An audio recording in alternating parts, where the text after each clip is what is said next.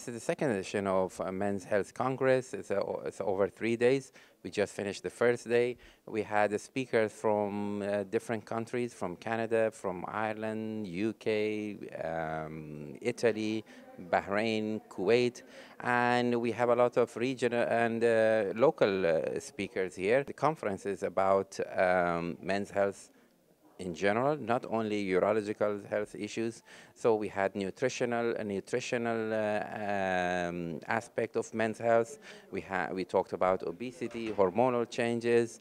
Uh, so this is a great platform that everyone comes and we talk about men's health issues. Here we look at a, a man as a whole not only their urological problem.